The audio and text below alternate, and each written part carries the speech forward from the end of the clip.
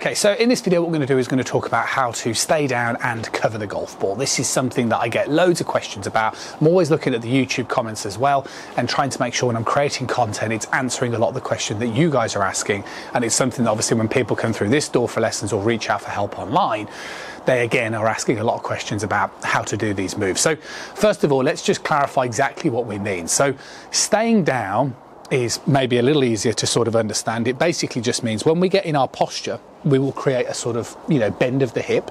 And staying down would basically mean when we hit the ball, we are staying in that same sort of posture angle. It, you know, if you imagine you stand up, then obviously that's standing up, that's staying down. So that's the first thing which you're going to understand exactly how to do that. The second thing, which I get a lot of questions about as well, is covering the ball.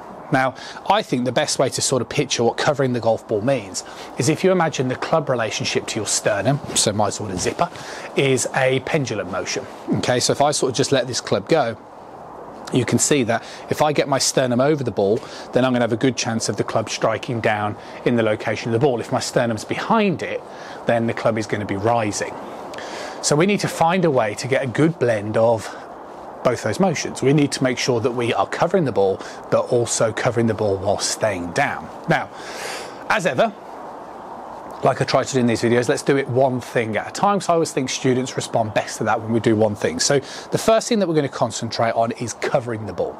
So the way we're going to cover the golf ball is we're going to make some short swings, but we're just going to move to the lead side. Now, in my opinion, when I meet a lot of golfers that have watched some of the content, they underestimate how much to the lead side you really need to be moving. Okay, so if you're somebody who thinks, oh, that's that's enough, and you notice that your contact point is cur- coming too early, then obviously you need to really be moving much more to the lead side, so you feel like all of that weight pressure is moving left. And a great indication would be if you can make half a swing, okay, where you're getting the club to strike down in the same point each and every time, that would mean that you are finding a way to get your sternum over the golf ball.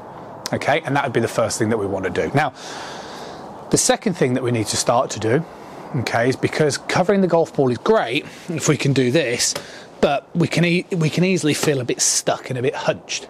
So, whilst we're covering the ball, we need to start introducing an element of rotation. So, personally speaking, I like to flare the foot. And the reason for that is because when we watch professional golfers, what they do is they might have feet positions which are roughly perpendicular to target, but when they hit the ball, you'll often see that they'll sort of, you know, supinate the foot or they'll spin the foot around the toe. So and I'm not a massive lover of that for most amateurs. I think we don't tend to produce enough sort of force to kind of, you know, use the ground similar to maybe what a pro is. So I personally think it makes much more sense to just flare that leg, okay? Because to trigger rotation, what needs to happen I need to shift my weight into that lead side, but I need to move my upper part of my lead leg, my belt buckle, my chest, and my spine in terms of its rotation towards the target. Okay, now if I can do that, so I now start introducing this sensation of covering the ball.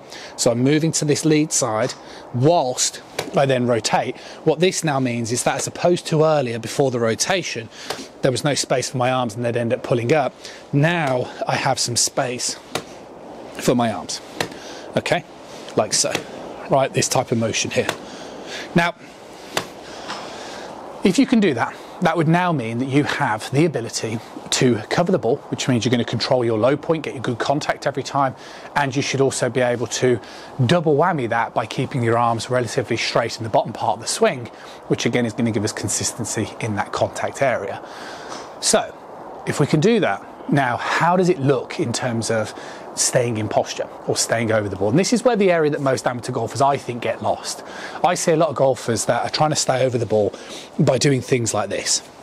That won't work because it's going to upset the sequence into the golf swing.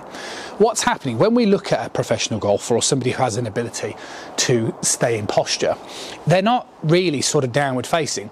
The chest would be pointing more towards the sort of target region, the lower body would be as well okay and you can see the way if I get set up and mimic a sort of impact area, you can see I'm not actually facing down towards the ground. I'm actually facing much more upward, right, than that.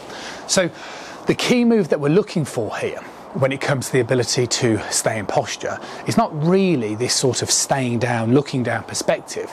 In fact, it's kind of not that at all. What you really need to be doing is understanding the importance of tilt. And what this means is, from the face on perspective, when my lower body and my pelvis is moving to the left side, so to my left side, so to your lead side, as long as I keep my head still, what it does is it starts to produce a tilt. So the more I exaggerate that, meaning the more my lower body moves to the lead side and the more my head stays still, the more tilt angle becomes produced. And so on and so on, right? Which is why there are examples of some tour pros that are quite literally down here. It's because that goes this way and this stays back this way. Now, you obviously don't need to contort yourself, but that's the first thing to understand. So when I move my lower body to my lead side and keep my head still. And then I introduce rotation. This helps me get my weight pressure in towards my lead heel. And if I can do those motions whilst keeping my head still, then that is going to give you that ability to stay in posture. So if I made a couple of swings here towards you, can you see what I'm doing here? See, I'm facing towards you, right? Which would be roughly, I'd be in that type of position just after post impact. So you can see where my body is aiming in relationship to the ground. But because this stays back like so, and my head stays still, it produces this tilt, which gives me this ability to stay over the ball. So again, from this perspective, it's this way. Okay, so the important thing to take out of this that I think is the reason why golfers struggle with this ability to stay over the golf ball is because you don't move enough to the lead side, and arguably you're not possibly triggering enough rotation as well. The easiest way to do this is to mimic what I've done in this video. Start allowing this upper part, this lead leg to face towards the target. Don't underestimate how much the weight needs to move. And when you're sort of hitting the ball, really put an emphasis of it moving in towards that lead heel. And as long as your head stays still, you should feel like some of the weight stays in between your lead heel and your trail toe. And having that ability will give you the blend of best of both. You'll be able to stay down which is going to help you massively with things like your golf swing, but also having that ability to cover the golf ball is going to give you a much better contact each and every time. Now, Eventually, you can obviously just do it longer. So you swing back, I come down, see what I'm doing here, like so. See my head stays still and my body moves left, and that's what produces what's known as an element of separation.